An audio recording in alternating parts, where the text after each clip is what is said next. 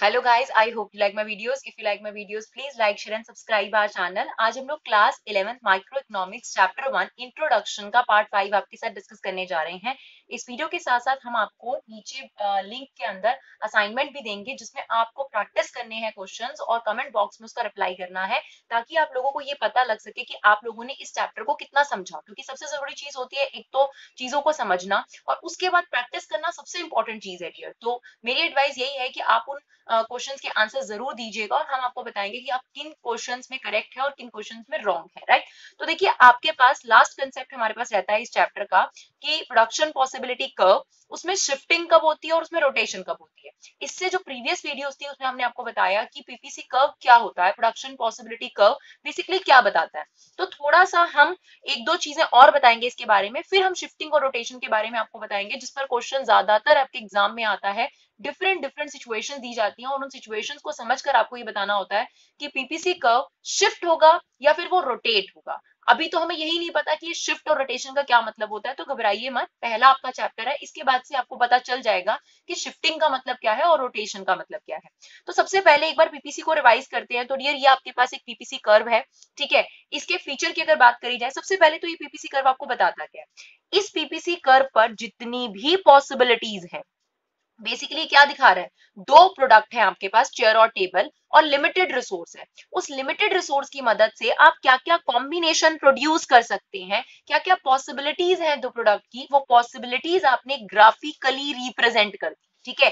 कि हम इतने चेयर इतने टेबल बना सकते हैं फ़र्स्ट कॉम्बिनेशन हम इतने चेयर इतने टेबल बना सकते हैं, अगर हमारे पास वो लिमिटेड अमाउंट है। तो जितने भी कॉम्बिनेशन पीपीसी कर्व पर हैं, वो सारे आपके पास वो कॉम्बिनेशन है जिनका आप यूज़ कर सकते हैं, अगर आप अपने रिसोर्सेज का फुल्ली यूटिलाइज करें।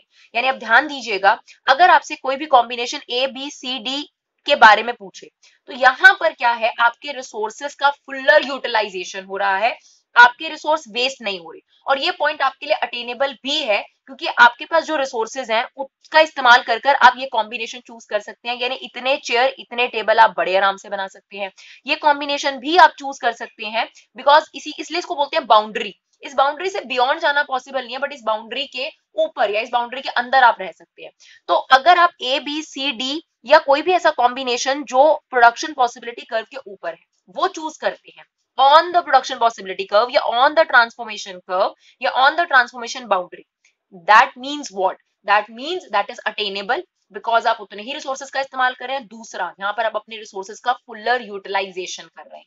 अब मेरी बात को ध्यान से सुनिएगा डियर कोई भी इकोनॉमी आज के टाइम में अगर आप बात करेंगे तो वो पीपीसी पर ऑपरेट नहीं करती। क्योंकि पीपीसी पर ऑपरेट करने का मतलब होता है उनके रिसोर्सेज का वेस्टेज ना होना। आप मुझे बताइए इंडिया के पास अबंडेंट लेबर है अबंडेंट लेबर है। क्या हम सभी लेबर का इस्तेमाल करते हैं? क्या हमारे देश में अनएम्प्लॉयमेंट नहीं है? बिल्कुल है। ऐसे कोई भी कंट्री चाहे डेवलप्ड कंट्री की बात भी करेंगे, वहाँ पर भी उनके रिसोर्सेज वेस्ट होते ही होते हैं। तो इसका मतलब ये है कि बहुत रेयर होता है कि कोई भी इकोनॉमी पीपीसी पर ऑपरेट कर रही जनरली कोई भी इकोनॉमी कहाँ ऑपरेट करती है? पीपीसी के अंदर ऑपरेट करती है। और कोई भी पॉइंट अगर पीपीसी के अंदर लिया जाता है तो उसका क्या मतलब है? उसका मतलब है आप अपने रिसोर्सेस का अंडर यूटिलाइजेशन कर रहे हैं, यानी आपके रिसोर्स वेस्ट जा रहे हैं। This is the true situation in every economy right तो जनरली अगर हमसे पूछा जाए कि इकोनॉमी कहाँ ऑपरेट करती है तो not on PPC that is under PPC right तो आपके पास पीपीसी के अंदर आपके पास कोई भी इकोनॉमी ऑपरेट करती है बट इसका मतलब ये होगा कि आप अटेनेबल तो है ये पॉइंट क्यों? क्योंकि आप अपने रिसोर्सेज का, जितने आपके पास रिसोर्सेज है, उतने का बल्कि इस्तेमाल ना करके उसे कम ही कर रहे हैं बट आप कर सकते हैं। तो that point is attainable but that state the under utilisation of your resources क्यों? आप देखिए, हमने आपको पिछले वीडियो में भी बताया था कि अगर आप इस पॉइंट को चूज़ करते हैं तो आप इतनी चेयर इतने टेबल बना रहे हैं। बट अगर आप चाहें तो इसी पॉइंट में चेयर इतनी ही रखकर टेबल बढ़ा सकते थे, या टेबल उतना ही रखकर चेयर को इंक्रीज कर सकते थे। मतलब आप नहीं बना रहे हैं जितना आप प्रोड्यूस कर सकते हैं। दैट मीन्स आप अपने रिसोर्सेज की वेस्टेज कर रहे हैं। तो यहाँ पर आपके पास अंडर यूटिलाइजेशन है, जो कि इकोनॉमिक्स हमें सिखाती है कि आप अपने रिसोर्सेज का ऑप्टिमम यूटिलाइजेशन करिए बेस्ट यूटिलाइजेशन करिए, जो अभी फ़िलहाल किसी भी इकोनॉमी में नहीं हो रहा। फिर बात करते हैं, कोई भी पॉइंट जो पीपीसी से बियॉन्ड है, यानी बाहर इसे तो आप चूज़ ही नहीं कर सकते डियर क्यों? क्योंकि आपके रिसोर्सेज ही आपको यहाँ तक बाउंड्री देते हैं। आपके रिसोर्स इतने है ही नहीं कि आप इतनी चेयर और इतने टेबल प्रोड्यूस कर सके। तो सिंपल सी बात है दिस पॉइंट इज़ अनअटेनेबल तो अगर कभी भी पूछा जाए कि आपकी इकोनॉमी कहाँ ऑपरेट कर रही है तो आपकी economy within the PPC operate कर रही है राइट और कभी भी ऐसे बोला जाए कि अनएम्प्लॉयमेंट कम हो गई तो ऐसे केस में आप पीपीसी को राइटवर्ड शिफ्ट नहीं करेंगे पीपीसी उधर नहीं चलेगी। बस इसका मतलब ये होता है कि जो आपके रिसोर्सेज का अंडर यूटिलाइजेशन हो रहा था, मान लो आप एफ़ पॉइंट पे थे, हो सकता है आप जी पॉइंट पे चले जाओ। यानी आपका जो पॉइंट है वो पीपीसी की तरफ़ चला जाएगा पीपीसी की तरफ़ मूव करने की कोशिश करेगा, हर इकोनॉमी यही चाह रही है। लेकिन पीपीसी पर ऑपरेट करें, ऐसा बहुत मुश्किल होता है, चाहे प्रोड्यूसर की बात करी जाए, चाहे आप एक इकोनॉमी की बात करें, आपके रिसोर्सेज वेस्ट होते हैं dear we can not use fuller utilisation जो कि इकोनॉमी की एक इमेजिनेशन है कि अगर आप यहाँ पर ऑपरेट करते हैं तो बेस्ट चीज़ है अगर आप यहाँ पर ऑपरेट कर सकते हैं। इसके बाद हमने इसके फीचर पढ़े थे, अगर आपको याद हो, कि पीपीसी डाउनवर्ड स्लोपिंग होता है। मैंने आपको सभी तरीके के फीचर्स भी बताए थे कि डाउनवर्ड स्लोपिंग अपवर्ड स्लोपिंग का क्या मतलब होता है।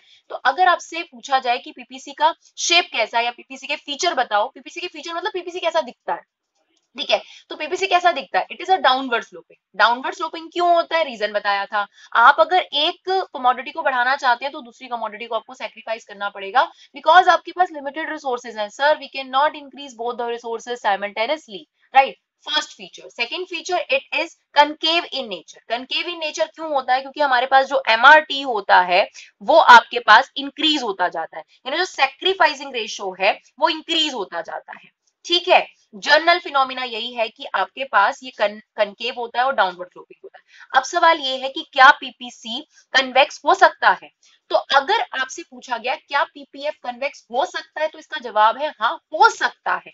ये कहना कि ऑलवेज कनकेव होता है तो ये गलत होगा डियर क्योंकि कोई भी शेप तीन शेप्स ले सकती है। यानी वो कन्वेक्स भी हो सकती है कनकेव भी हो सकती है और वो स्ट्रेट लाइन भी हो सकती है डिपेंडिंग अपॉन कि उसमें क्या आपके पास सिचुएशंस uh, है। लाइक like, अगर आपसे पूछा जाए क्या पीपीएफ कन्वेक्स हो सकता है तो आपका जवाब होगा यस अगर एमआरटी डिक्रीज हो रही हो यानी अगर आपके पास इस तरीके की सिचुएशन है कि एमआरटी डिक्रीज हो रही है तो yes PPF can be convex to the origin right similarly अगर आपसे पूछा जाए can PPF be a straight line yes PPF be a straight line yes it is possible किस सिचुएशन में? जब एमआरटी आपके पास कांस्टेंट रहता है, और इसके लिए हमने आपको डायग्राम बनाकर दिखाए थे कांस्टेंट का मतलब है कि हर बार एक टेबल के लिए एक चेयर सेक्रीफाइस एक टेबल के लिए एक चेयर सेक्रीफाइस यानी आपका रेशियो कांस्टेंट रह रहा है। और यहाँ पर क्या होगा? आपका जो सेक्रीफाइस है वो डिक्रीज होता जा रहा है। यानी एक टेबल के लिए चार चेयर सेक्रीफाइस करी, फिर एक टेबल के लिए तीन चेयर सेक्रीफाइस करी,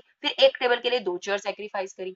तो ये सिचुएशन पॉसिबल है डियर पर अगर आपसे जनरली पूछा जाए कि पीपीसी की शेप क्या होती है तो आपने क्या बोलना है? इट्स कनकेव इन शेप तो जनरली अगर आपसे पूछा जाए तो कनकेव शेप तो ये आपके पास पीपीसी के बारे में सारी इंफॉर्मेशन हो गई डियर कि पीपीसी का मतलब क्या होता है पीपीसी के क्या फीचर्स होते हैं पीपीसी की शेप कैसी होती है, कौन से पॉइंट्स जो होते हैं पीपीसी पर वो अटेनेबल होते हैं और कौन से अनअटेनेबल होते हैं राइट तो अब हम बात करते हैं जिस पर हमारी ये वीडियो है खास तौर पर कि शिफ्ट क्या होता है पीपीसी में और शिफ्ट भी दो कैटेगरी का होता है डियर राइट वर्ड शिफ्ट और लेफ़्ट वर्ड शिफ्ट ठीक है? तो क्या रीजन होते हैं राइट वर्ड शिफ्ट के? सबसे पहले आपको ये बताते हैं, ये शिफ्ट क्या होता है? शिफ्ट होता है डियर अगर आपके पास ये अभी पीपीसी बन रहा है आपका पीपीसी मतलब वो पॉसिबिलिटीज जो आप प्रोड्यूस कर सकते हो चेयर और table right with the given resources let it be आपके रिसोर्सेज वहीं के वहीं है। जितने रिसोर्सेज थे आपके पास, उतना ही लकड़ी पड़ा हुआ है जितना आपके पास पहले था, जो आपने पीपीसी बनाया अब क्या हुआ कि आपके पास जो चेयर और टेबल को बनाने को लेकर टेक्नोलॉजी है, या आपके पास एक नई मशीन आ गई, एक नई तरीके की टेक्नोलॉजी आ गई, जिससे आपके पास जब चेयर और टेबल पहले बनाए जाते थे तो ज़्यादा मटेरियल वेस्ट होता था और जो क्वांटिटी प्रोड्यूस होती थी वो कंपेरेटिवली कम होती थी। अब आपके पास एडवांस टेक्नोलॉजी आ गई। उस एडवांस टेक्नोलॉजी की वजह से अभी भी अगर आपके पास हंड्रेड टन जो है, वो लकड़ी है, तब भी आप कंपैरेटिवली ज़्यादा चेयर और ज़्यादा टेबल जो है प्रोड्यूस कर पाएँगे। और क्योंकि आपके पास वही रिसोर्सेज थे बट स्टिल आपकी टेक्नोलॉजी डेवलप हो गई, आपके पास अब कॉम्बिनेशन बढ़ चुके हैं। अब अगर आप अपनी पॉसिबिलिटीज क्रिएट करेंगे कि यार मैं चेयर कितनी बना सकता हूँ टेबल कितनी बना सकता हूँ तो पहले के मुकाबले आपके पास चेयर और टेबल के कॉम्बिनेशन बढ़ जाएँगे। और क्योंकि वो बढ़ जाएँगे तो इसीलिए थोड़ा पैरल शिफ्ट करना है आप लोगों ने, ठीक है? तो आपके पास पीपीसी जो है, वो राइट वर्ड शिफ्ट हो जाएगा। That is known as rightward shifting ठीक है? और अगर मान लीजिए जो टेक्नोलॉजी आप यूज़ कर रहे हैं मार्केट में वो टेक्नोलॉजी आउटडेटेड हो जाती है ठीक है? और आउटडेटेड टेक्नोलॉजी आप यूज़ करे जा रहे हैं, करे जा रहे हैं तो आपका वेस्टेज ज़्यादा होगा, ठीक है? क्योंकि पुरानी टेक्नोलॉजी हो चुकी है। या आप देखिए ना, जैसे पुरानी अगर कोई भी चीज़ आप इस्तेमाल करने की कोशिश कर रहे हैं, चाहे वो गाड़ी है, चाहे कोई भी चीज़ है, वो उतना ही ज़्यादा रिपेयर ज़बरदस्ती आपसे मांगेगी जितना की आपको रिवर्ट नहीं देगी, जितना बेनिफिट नहीं देगी। तो ऐसे केस में अगर आपकी टेक्नोलॉजी आउटडेटेड हो जाती है क्योंकि हम अगले उसमें पढ़ेंगे तो आपके पास क्या हो जाता है डियर लेफ़्ट वर्ड शिफ्ट हो जाता है, ठीक है? तो एक बार पहले तो ये समझने की ज़रूरत है कि एडवांस टेक्नोलॉजी से राइट वर्ड शिफ्ट क्यों होता है? क्योंकि सिंपल सी बात है डियर कि आपके पास अच्छी, बढ़िया टेक्नोलॉजी आ गई तो उतने ही रिसोर्सेज में अब आपके पास चेयर के कॉम्बिनेशन जो है, वो बढ़ जाएँगे कंपेरेटिवली पहले के कॉम्बिनेशन तो आपके पास, क्योंकि चेयर और टेबल के कॉम्बिनेशन बढ़ गए हैं तो आपके पास क्या हो जाएगा?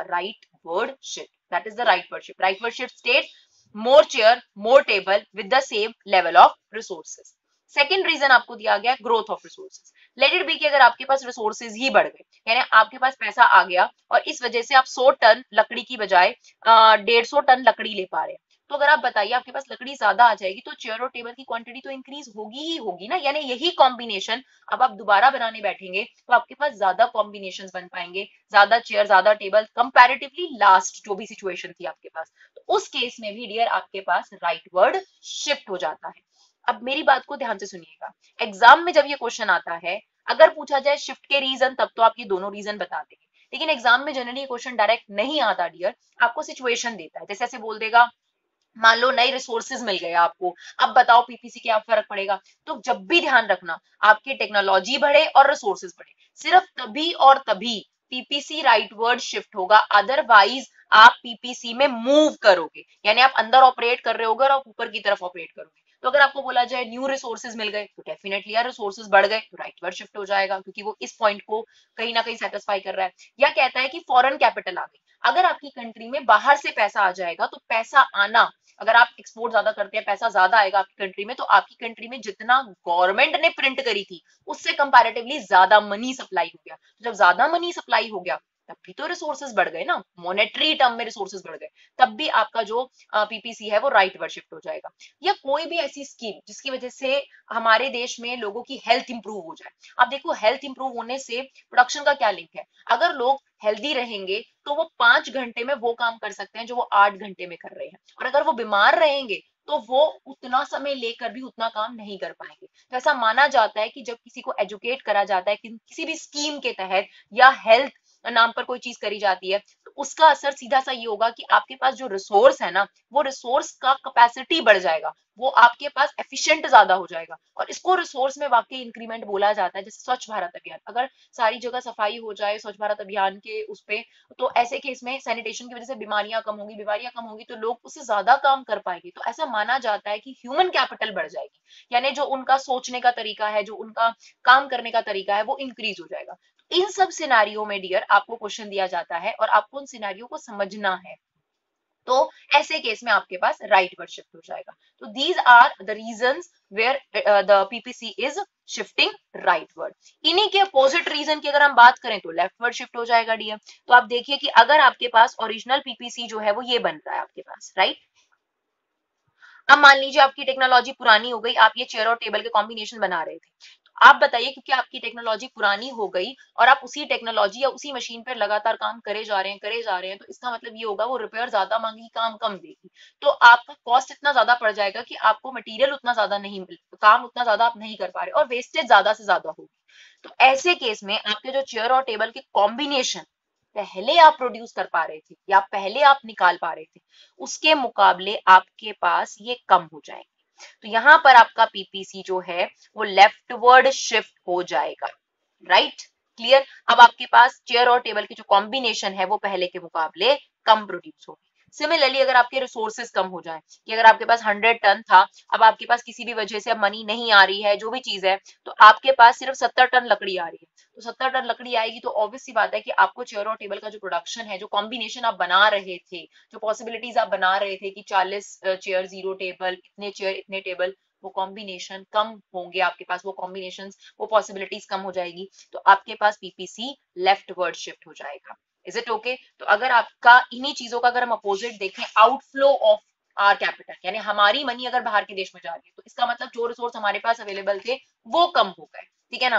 तो ये सारे रीजंस हो जाएँगे कि आपके देश में रिसोर्स कम हो गया, या फिर फ्लड के कारण जो है रिसोर्सेज डिस्ट्रक्ट हो गए, या फिर किसी भी नेचुरल कैलमिटी की वजह से पूरा का पूरा एक रिसोर्स ही आपका खत्म हो जाता है लेबर खत्म हो जाती है, जो भी चीज़ है तो उसकी वजह से आपका जो पीपीसी है, वो लेफ्टवर्ड शिफ्ट हो जाएगा राइट तो ये हो गई हमारी राइट वर्ड शिफ्टिंग और लेफ़्ट वर्ड शिफ्टिंग अब बात करते हैं रोटेशन और पावर्टिंग जिसको हम लोग बोलते हैं। इसमें क्या होगा डियर कि जो भी फेवरेबल सिचुएशन हुई है, चाहे टेक्नोलॉजी हुआ है, चाहे रिसोर्स हुआ है, वो सिर्फ़ एक प्रोडक्ट के लिए हुआ है। यहाँ पर क्या हुआ था टेक्नोलॉजी जो आपके पास आई, वो दोनों प्रोडक्ट के लिए एफिशियंट है तो राइट वर्ड शिफ्ट हो गया। लेकिन अब क्या होगा, जो टेक्नोलॉजी अपग्रेड हुई, ठीक है, वो सिर्फ़ एक प्रोडक्ट को लेकर तो मान लीजिए कि यहाँ पर चेयर है और यहाँ पर टेबल है। ये आपका पीपीसी है। अब क्या हुआ कि आपकी जो टेक्नोलॉजी है, वो चेयर को लेकर बहुत बढ़िया हो गई, ठीक है? चेयर को लेकर बहुत बढ़िया हो गई, जो आपके पास टेक्नोलॉजी मिली है टेबल को लेकर। अब मेरी बात को ध्यान से सुनिए। अगर चेयर को लेकर टेक्नोलॉजी बढ़ गई है रिसोर्सेज वहीं के वहीं, और अगर आप सिर्फ़ चेयर बनाए तो 100 परसेंट बात है कि आपके पास चेयर के कॉम्बिनेशन पहले के मुकाबले ज़्यादा होंगे। यानी अगर आपके पास कॉम्बिनेशन था 40 कॉमा ज़ीरो तो अब आपके पास वही कॉम्बिनेशन हो जाएगा फिफ्टी कॉमा ज़ीरो यानी अगर आप सारा जो रिसोर्स है, लकड़ी है, वो सिर्फ़ चेयर बनाने में लगा दे तो डेफिनेटली आपकी चेयर अब पहले से ज़्यादा बनेगी. क्यों? क्योंकि आपके पास टेक्नोलॉजी चेयर को लेकर फेवरेबल आ चुकी है. लेकिन अगर आप अपना सारा मटीरियल टेबल को बनाने में इस्तेमाल करें, सिर्फ़ टेबल को टेक्नोलॉजी किसके फेवर में आई है? चेयर के फेवर में. तो क्या टेबल की प्रोडक्शन पे कोई फ़र्क पड़ सकता है? टेबल के लिए कोई नया कॉम्बिनेशन मिलेगा? नहीं। टेबल के लिए फेवरेबल सिचुएशन नहीं आई, यानी टेबल वही का वही कॉम्बिनेशन है आपके पास। राइट तो अगर हम इस सिचुएशन को ज्वाइन करें तो ये कुछ इस तरीके से होता है। This is known as rotation ये रोटेशन क्यों हुई? बिकॉज़ आपके पास जो टेक्नोलॉजी थी, वो चेयर के लिए फेवरेबल थी। तो अगर आप सिर्फ़ टेबल प्रोड्यूस करोगे तो आपके पास वही कॉम्बिनेशन रहेगा जो आप पहले बना रहे थे। मान लीजिए ज़ीरो कॉमा सेवेंटी तो वही रहेगा, और नहीं इंक्रीज हो सकता। तो ये दो कॉम्बिनेशन से हमने ये ग्राफ बना दिया। पर एक और चीज़ देखिए, अगर आप सिर्फ़ चेयर बनाएँगे तो भी आपको बेनिफिट होगा। लेकिन अगर आप सिर्फ़ टेबल बनाएँगे तो आपको इस टेक्नोलॉजी का कोई बेनिफिट नहीं होगा because that technology is favourable to product chair right अब आप देखिए, अगर आप चेयर और टेबल का कॉम्बिनेशन बनाते हैं तो आपके लिए बढ़िया हो जाएगा। ठीक है? अब मान लीजिए कि आप पहले इतनी चेयर बना रहे थे, ठीक है? ये चेयर आप बना रहे थे तो आपके पास टेबल इतना प्रोड्यूस हो रहा था, ठीक है? अब आप क्या कर सकते हैं? टेबल आपके पास इतना प्रोड्यूस हो रहा था। अब आप क्या कर सकते हैं? अगर आप सेम चेयर रखना चाहते हैं, वैसे तो चेयर को लेकर फेवरेबल टेक्नोलॉजी है। अगर चेयर को लेकर फेवरेबल टेक्नोलॉजी है, इसका मतलब लकड़ी बच जाती है चेयर बचा चेयर बनाने में। कंपेरेटिवली ज़्यादा चेयर बच जाती है। तो अगर आप चाहते हैं उतनी ही चेयर बनाई जाए तो जो बची हुई लकड़ी है, वो आप ज़्यादा टेबल बनाने में इस्तेमाल कर सकते हैं। क्या समझाना चाह रहे हैं हम आपको? अगर आप सिर्फ़ चेयर बनाएँगे तो तो कोई दिक्कत नहीं है चेयर ज़्यादा बन जाएगी। सिर्फ़ टेबल बनाएँगे तो उस टेक्नोलॉजी का कोई बेनिफिट नहीं होगा।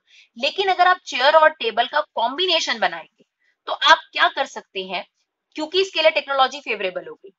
तो या तो जो लकड़ी बचेगी उस न्यू टेक्नोलॉजी की वजह से उससे ज़्यादा चेयर बना सकते हैं। नहीं तो सेम क्वांटिटी की चेयर बना लीजिए और जो लकड़ी बची उससे ज़्यादा टेबल बनाने में लगा दीजिए। तब आपके पास ऑप्शन होगी। लेकिन जब भी आप चेयर प्रोड्यूस करेंगे, आपको बेनिफिट होगा। और वो बेनिफिट आप चेयर के लिए दीजिए या टेबल के लिए दीजिए। इट्स योर विश तो वहाँ पर इसको बोलते हैं राइट वर्ड जो है रोटेशन हुआ है या चेयर के रिस्पेक्ट में रोटेशन हुआ है। ठीक है? और अगर आपके पास रिसोर्सेज इंक्रीज होते हैं सेम फॉर चेयर के लिए, ठीक है? यानी इस तरीके की आपको कुछ चीज़ें मिली जो चेयर के लिए फेवरेबल है, तब भी आपके पास राइट right वर्ड जो है रोटेशन हो जाएगी या इस तरीके से रोटेशन होगी कि आपके पास टेबल वहीं का वहीं रहेगा, लेकिन चेयर के लिए आपके पास कॉम्बिनेशन कंपेरेटिवली ज़्यादा आ जाएँगे। सिमिलरली डियर अगर आप बात करते हैं कि चेयर को लेकर टेक्नोलॉजी जो है वो बेकार हो जाती है, सिर्फ़ चेयर को लेकर, या चेयर को लेकर रिसोर्सेज कम हो जाते हैं तो टेबल पर तो कोई फ़र्क नहीं पड़ा। तो आपके पास इनवर्ड जो है, वो रोटेशन हो जाएगी यहाँ पर। ठीक है? एक यही एग्ज़ाम्पल हम ले लेते हैं कि मैम अगर टेबल को लेकर हो जाए तो कोई बात नहीं टेबल को लेकर होगा तो टेबल को लेकर देख लेंगे। मान लीजिए ये आपके पास पीपीसी है। अब क्या हुआ? टेबल को लेकर टेक्नोलॉजी इंक्रीज हो गई। तो टेबल को लेकर टेक्नोलॉजी इंक्रीज हुई है ना तो पहले मान लीजिए आप ज़ीरो कॉमा सत्तर कॉम्बिनेशन थे। अगर आप सिर्फ़ टेबल बनाए चेयर ना बनाए तो तो डेफिनेटली आपको बेनिफिट होने वाला है। और अगर आप सिर्फ़ चेयर बनाए तो क्योंकि वो टेक्नोलॉजी टेबल के फेवरेबल है तो कोई बेनिफिट नहीं होने वाला, यही कॉम्बिनेशन रहेगा। यानी ये इस तरफ़ आपके पास रोटेट हो जाएगा। ठीक है? सिमिलरली अगर आपकी टेक्नोलॉजी टेबल को लेकर रिड्यूस हो गई या आउटडेटेड हो गई तो ये आपके पास इनवर्ड रोटेट हो जाएगा। तो आई होप आपको शिफ्टिंग क्या होती है और रोटेशन क्या होती है और क्यों होती है शिफ्टिंग और रोटेशन वो क्लियर रही हो। अगर आपको ये वीडियो बेनिफिशियल लगे तो प्लीज़ इसे ज़्यादा से ज़्यादा शेयर करिए। Thank you so much guys for eleven support keep supporting classes